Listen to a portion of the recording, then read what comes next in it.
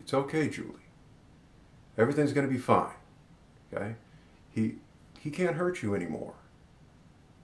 Everything's going to be okay.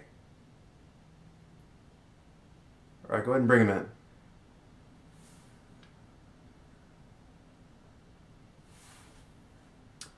All right, Clint. Let's have a talk. Man. Might as well, right? So I got a little surprise waiting for you at intake. I made a call down to DOC and uh, I got a psych doc on deck just for you. And within five minutes, they're going to categorize you as JCAT, which means no rec, no visitation, nothing for the rest of your sentence. It means you're going straight into solitary confinement. You know what that is, don't you?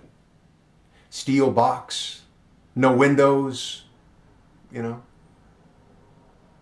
Food gets served to you in a paper bag like a Johnny, which is better than what you deserve, by the way.